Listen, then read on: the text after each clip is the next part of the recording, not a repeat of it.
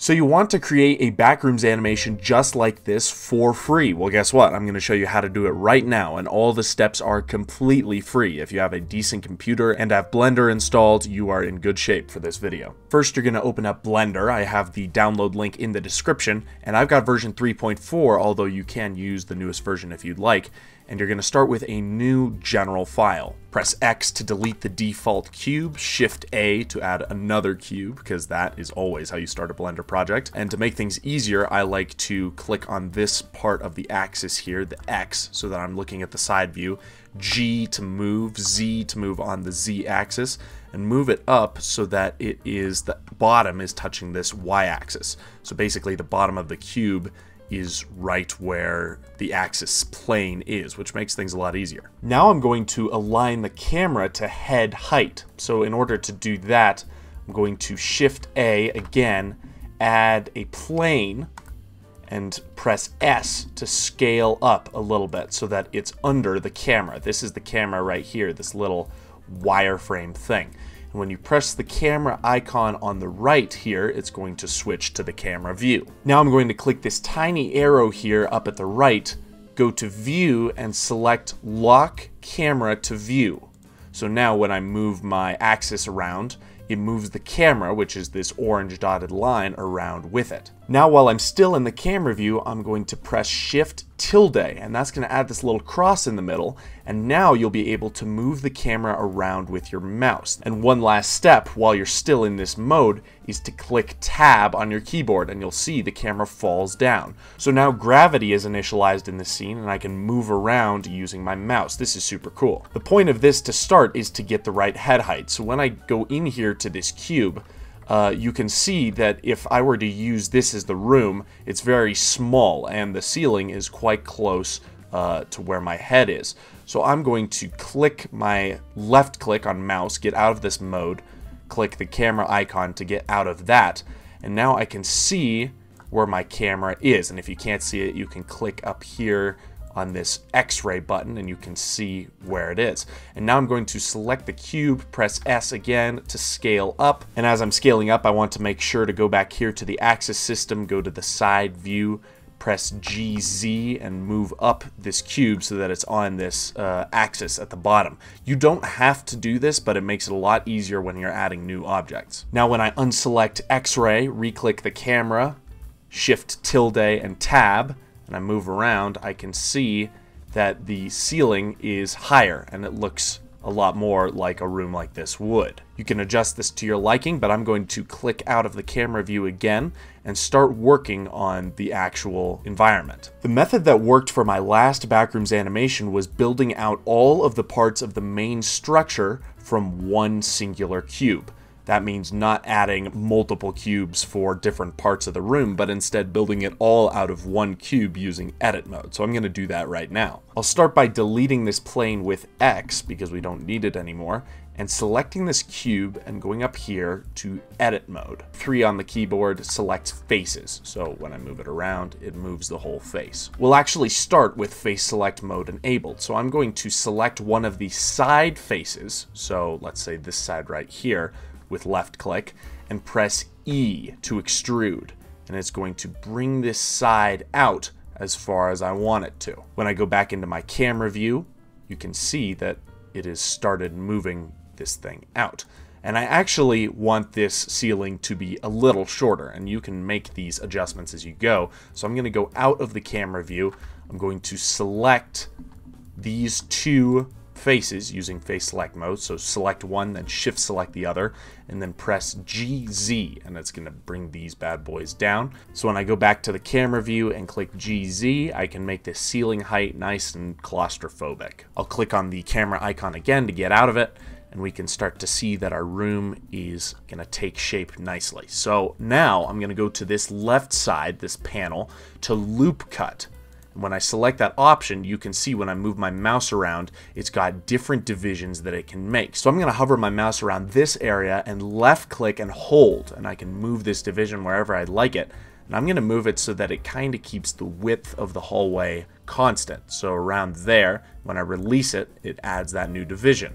Now when I go back to the selection mode, click 3 to select faces and select this, it's become its own new face. And now when I click E to extrude, can extrude like that. You can really play around with this to your heart's content. I'm going to select this face, extrude a little out. Then I'm also going to go back to loop cut again, hit it right there, back to selection, faces, select this bad boy, extrude, and you can do this for as many hallways or sections as you'd like. And if you want to extrude diagonally, you can click E, Shift, Z, so everything but Z, and then you can move it around like this and it'll stay on the same constant level on the z-axis which is super helpful. Once again extruding more using loop cut to cut through these. It's quite a simple process once you get used to it um, and it allows for a lot of complexity out of one cube that you wouldn't have expected. E to extrude, then back to selection, face select using 3 on the keyboard, selecting that, then extruding with E, over and over and over. I'll leave this as my structure, it's nice and simple, and now I'm going to start working on the other aspects of the room that make this look more realistic and more backroomsy. The first thing I'm going to do is go back to the side view by clicking the red X on the axis here, and then going back to loop cut and hovering around until I get a line down the middle horizontally of my structure. Now I'm going to do the same thing, left click and hold, and bring this division all the way down to around foot height. So for me, this is a good width, and you can check once you've done it. I'm going to release, and it's it's there, and it has divided the whole structure along that horizontal line. I'm going to go back to my camera, shift tilde, and then tab to go back to gravity. And I can now explore my backrooms area already with my mouse. And it looks like that this is a pretty good height. These are called baseboards. What these will be are called baseboards. They're basically these things at the bottom of the walls in the backrooms that make them look a lot like the backrooms. I'm going to left click to get out of this mouse camera view and click the camera icon to get out of that. And now I'm going to zoom in to where I'm working on these so that I can start extruding each of these faces. It's a very similar process. I'm going to use the select tool and face select like we did before with three on the keyboard or up here clicking this button. And I'm going to individually select all of these little squares down here that go in one direction. So let's say I want to do all of them along the Y axis. So I'm going to go down here and I'm not going to select these for right now. I'm going to select this face, this face, because they're all going in the same direction. This one, this one, shift click to select multiple, and this one. Go back this way, see if we have any others, and you can use these tools as you're going. So this axis system, if you hold and drag, it'll help you move around the scene. This zooms in and out, this little magnifying glass tool, this hand moves around your view. So I'm gonna keep going along the ones on the same side that are going along the same axis, uh, and this just makes things easier, but you can do these individually if you'd like, but I'm gonna make sure to select all of those. Okay, so now all of the ones on this side that are moving in this direction are selected. Now I'm gonna go back here and extrude with E this one face, and now it's extruding all of them. You can see the one back there is extruding as well. I'm gonna extrude it just enough that it sticks a little out. It doesn't have to be too far at all. Subtlety is often something you want to shoot for in this case. Once I've extruded to the right level, which I'd say is right about there, I'm going to click. And now I'm going to go over here to the material properties window. I'm going to make a new material, name this one walls. And now add a second material using this plus button on the right here, new baseboard. And with these still selected, you want to keep these selected, I'm going to click Assign.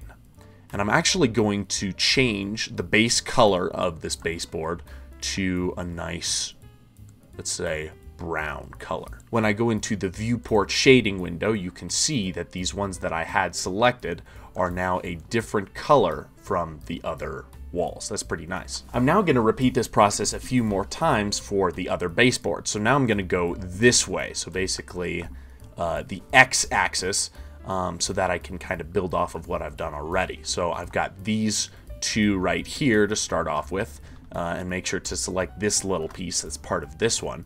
Um, and now I'm going to also select the rest of the ones that go this direction. So again, moving around the scene, I can see that this one is going along the x-axis as well. So I'm going to select that continue over here to these walls, select those, select this one because it's right in line with the first one that we did, and then finally in this corridor, select this guy, and zoom in here, this guy, this guy, and then this. So everything, again, in a line going along the x-axis. And I'm going to zoom in again where I have one of them selected, and E to extrude. And I'm going to keep that width the same as I did on this side.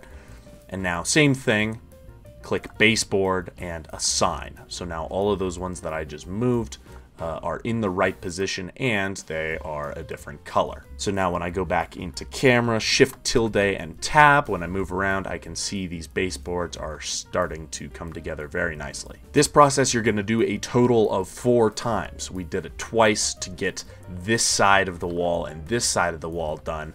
And now we need this side done and the other one on this side. It's just all of the ones going in the same direction to help speed up the process. So now I'll exit the camera view and do the exact same process that I did before, except it'll be on this side this time.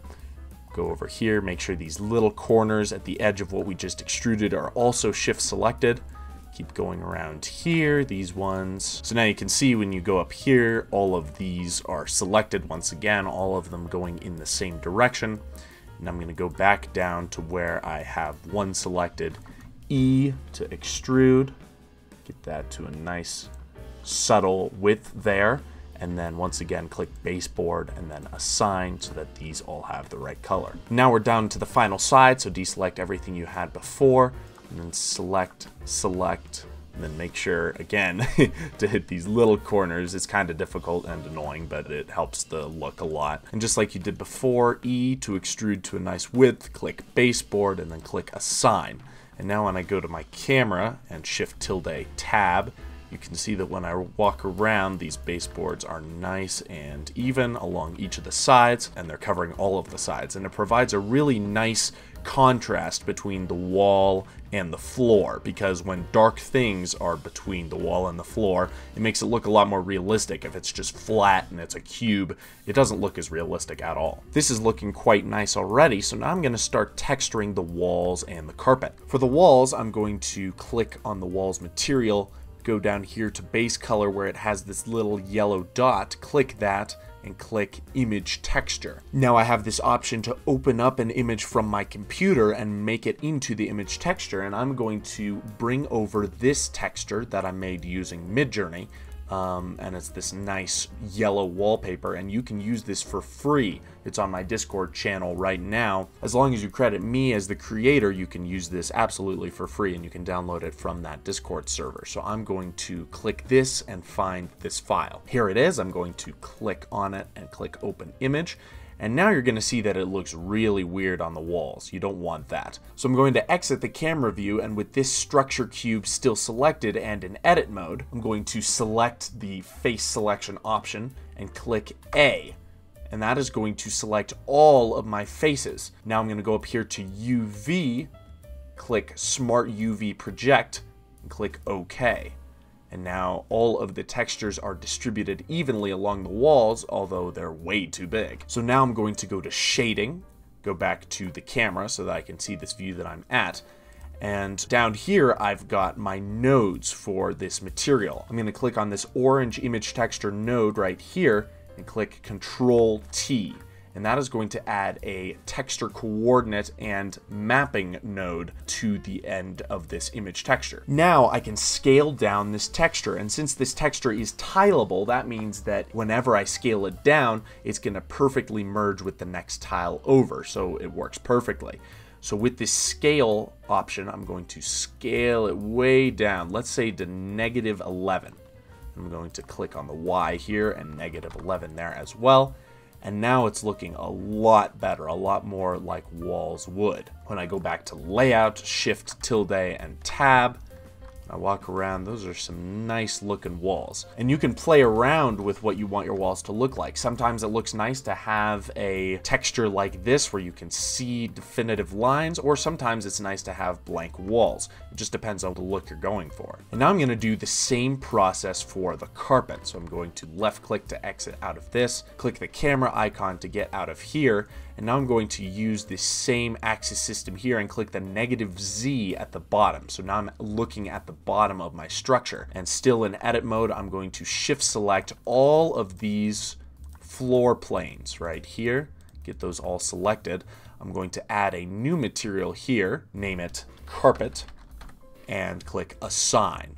So now when I go back to my camera view, I can see that the whole carpet is the white default color. I'm gonna do the same thing, go down to base color with this yellow dot, change that to image texture, and open up my carpet file down here. Open that up. And again, it's scaled up way too much. So I'm gonna go back to shading, make sure to have that carpet selected click the image texture node, control T to add that mapping node to it zoom in here, and now you can scale it all the way down to whatever you want. I'm going to go to negative 35.5, shift tilde tab to check it out.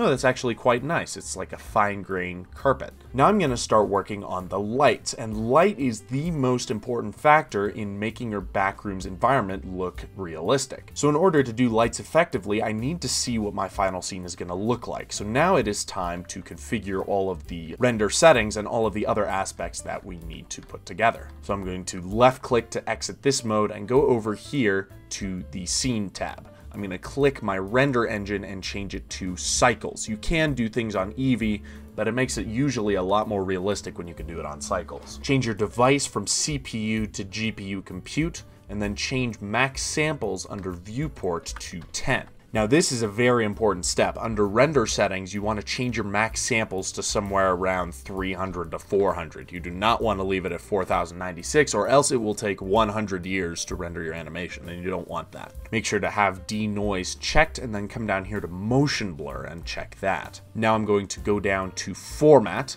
and in this resolution page, I'm going to change this to 640 by 480 pixels. This makes it kind of low quality and VHS filter style, but if you want to make it 1080p like I did with my newest animation in some parts, you can change it to 1000 by 563. Those are the dimensions I rendered it under. It's basically a scaled down version of 1080p. If your computer can handle it, you can set these to 1920 by 1080, uh, but I like to keep it 640 by 480 because my computer can manage that pretty well. 24 frames per second is also a good idea because it helps with that VHS look. Once I've got all of my cycles render settings set up, I'm going to start working on the lights. Now, in a lot of Backrooms videos, you'll see this hanging ceiling look, which is very reminiscent of Kane Pixel's original video, but in this one I'm going to stick to the style I had in the found footage segment of my newest Backrooms animation, where it's got these more hotel-looking lights, which I think looked really good. So I'm going to exit out of object mode and shift right-click to put my 3D cursor right there on the ceiling,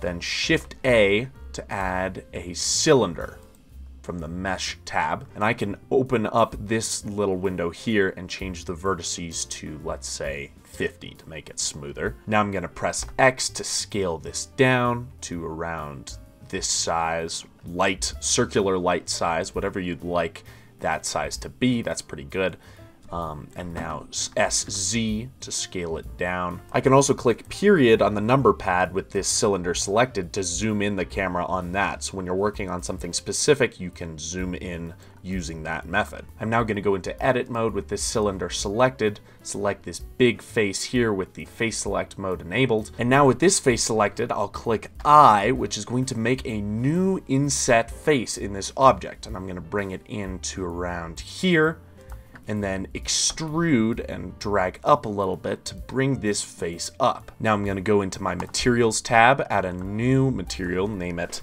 light main, and then add another material and name it light glow. And I'm going to go ahead and assign that to this face. So have this face selected and click assign. On this light glow material, I'm going to change the surface from principled BSDF to emission and make this emission value a value of 10 to start. I'm also going to change this light main color to one that better matches the rest of the ceiling. After that, I can go back into my camera, shift tilde tab, so that I'm in the camera view as usual. And I can find where I put this little light here. Then I'll go up here to the viewport shading option and click that. Now you can see it's generating light, but not a whole lot. So maybe I will go back here to the light glow and change it to 20. I'm going to exit the render preview and go to the material preview, exit the camera. And now with this selected, I'm going to press Shift D, click, and then G Shift Z. And that's going to move it along the X and Y axis just like I like it. So G Shift Z, bring it over here, and you can move up here to the top view and kind of place these where you'd like. So Shift D, click, G Shift Z, bring it over here. Shift D, click, G Shift Z, bring it over here. Shift D, G Shift Z. Now when I go back into the camera, and go to this render preview, there's more light in here. I'm going to Shift tilde tab and kind of look around, you can see that there's definitely more light, but we maybe want to have a little bit more. You can change this based on the amount of lights in your scene and how you want your room to look. It looks like 60 emission strength looks really good for my scene, so now I'm going to render a test image. I'm going to go up here to the second scene tab from the top, and go down here to where it has the format options. I'm going to make sure that I have PNG selected and color depth of 16 and then I'll select my output folder here. Now I'm going to go up here to render and render image. You can see that this is going to take around a minute and a half to two minutes to render, and I've found that each of my frames usually takes three to five minutes to render in a big project. So this is what the scene looks like right now, and it looks okay. This carpet is a little too emissive. It's a little too specular. It kind of reflects the light in a very squishy way. I don't like how that looks.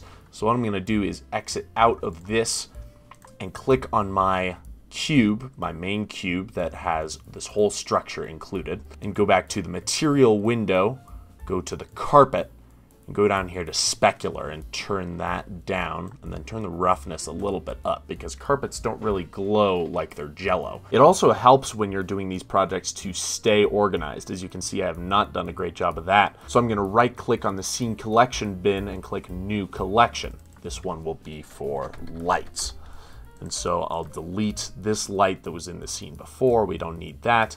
Um, and then click one of these, shift select all of the cylinders and bring them into light. Now I can click this arrow on the side and kind of hide all of those. You can obviously add a lot more to this scene using the methods that I've shown you and add different objects and a ceiling texture if you want to do that. But for right now, I'm just going to add one more thing to enhance the realism of this scene, and that is ceiling sprinklers. I'll exit out of my camera using this button and then shift right click to add the 3D cursor to the ceiling. Then I'm going to press shift A, mesh, and then another cylinder uh, which will have the amount of vertices that you set last time.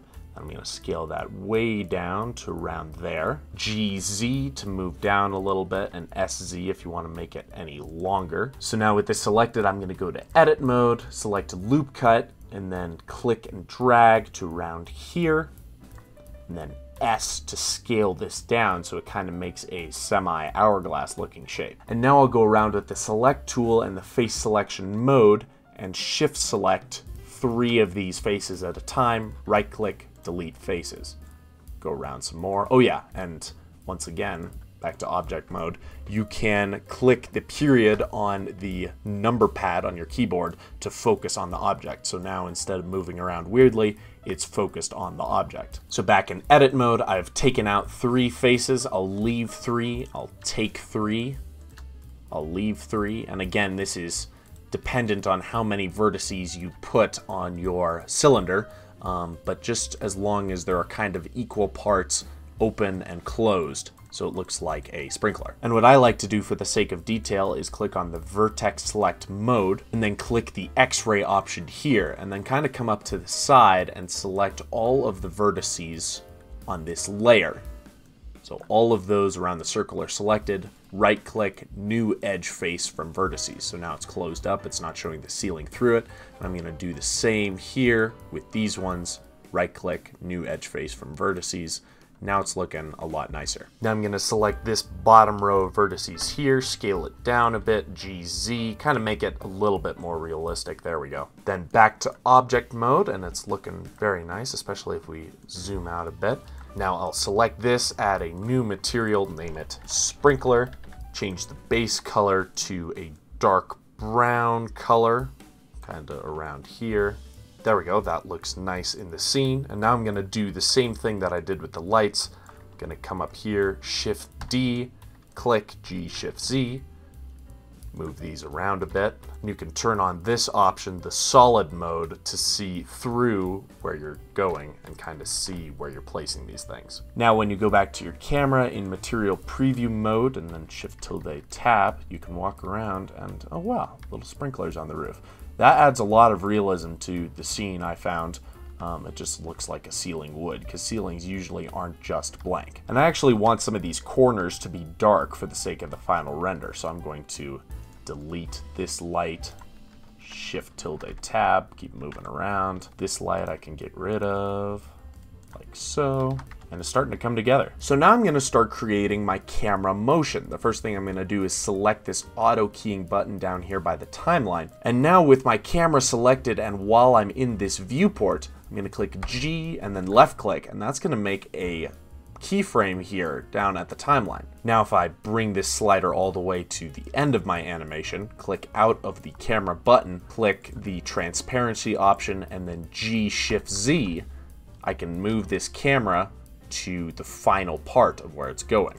And now it's going to add a new keyframe, and then you can see kind of moves through the scene. When I go back to the camera view and to the material preview, you can see that this camera is walking through the scene, but it doesn't look very realistic. Now comes the fun part where we generate artificial camera shake within the Blender window. So Nik Kottmann made a tutorial on how to get realistic camera shake in Blender, and this is how he did it. First we go to GitHub through the link in the description that I'll put in there, and you've got this Camera Shakify add-on, which is free, and I've been using it for a very long time for my own projects. If you go to Code, then Download Zip, you can download the file. Now when I'm back in the Blender window, I can go to Edit, Preferences, Add-ons, and click Install up here. Wherever your zip file is with the Camera Shakify add-on, you click on that and then click Install Add-on. Once you've done that, you can go back here to the add-ons page and search for Camera Shakify, and you can click that box to enable it. Once you've done all that, if you have the camera object selected,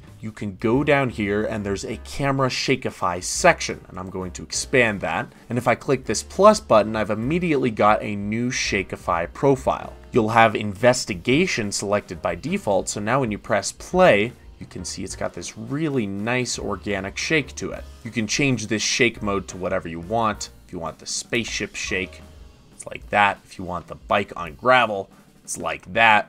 If you want the close-up, looks like that. You can change all of these ones, but for just walking through the back rooms, Investigation is a really cool found footage-esque camera shake. A great final touch would be to go here to the Compositing tab, select Use Nodes so that your nodes are visible, and then click Add Glare and you're gonna bring this down here and click it in the middle so that it goes in the middle. You can add another node, that being the viewer node, so you can see what you're working with, and then click on this yellow dot by image and drag it down to viewer. The default glare is really ugly. It's just these massive streaks in the middle of your footage. What you can do is change that to fog glow, and you can change this size to your heart's content. Um, oftentimes, if you have a negative 0.3 mix, in a size 7 or 8, it works the best. You can of course render another test image to see how your scene is coming together. That I think looks really nice. For the amount of time we put into creating this scene, it looks quite good. I'm going to go back here to the format section of my render settings, and since we're rendering as individual PNG frames, if your computer dies in the middle of rendering or there's some other glitch in the system, you won't lose your progress. So now with my frame start and end set, I'm going to go up here to render, and click render animation. Alright, after Blender is done rendering the animation, all of my finished frames are in my output folder. Now we're going to move to the final visual step, which is turning this video into a VHS found footage style video. I'm using this VHS effect by BGVC on YouTube. It's free to use as long as you credit him, and I linked his tutorial in the description so that you can get a more detailed rundown on how to get this effect started. To start, I'm going to save my work here, and create a new video editing project. Once I'm in this video editing tab, I'm going to change my resolution to 640 by 480, which is the same as our project was.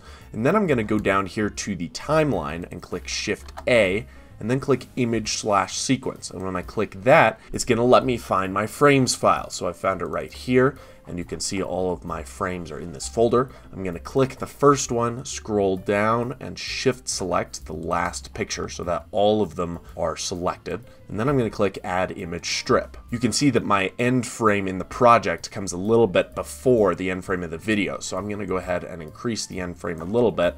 And I can zoom in here to make sure I get it exactly right bring it back here. There we go. Now with that end frame set correctly, I'll go up here to the Workspaces tab and click this plus button. Go to General and then Compositing. First thing I'll do is select Use Nodes. Then I'll select this Render Layers node X to delete. Then I'll add a movie node with Shift A, search for movie clip, put that there, and then connect this to the composite node. I'll click open file, and here I'm going to find where my frames folder is. So it's right here. I'm going to do the same thing, select the first frame, go down to the bottom, select the last frame with Shift, click open clip. Then I'll also add a viewer node with Shift A, viewer, then drag this image down here. Now once I've done that, I'm going to add the VHS effect from BGVC. So you can download his effect from the description of his tutorial. I'm going to go ahead and extract this. Once you've done that, you should have this VHS 23 folder in your downloads file or wherever you extracted it to. And I'm going to go back to my Blender window, click File, Append, and then find that exact folder. Click on this folder, then open up the project. Then go down here to node tree, and then click this VHS FX file, click append. Now when I click Shift A to add and go down to group, I can see this VHS FX node. And I'm gonna click on that.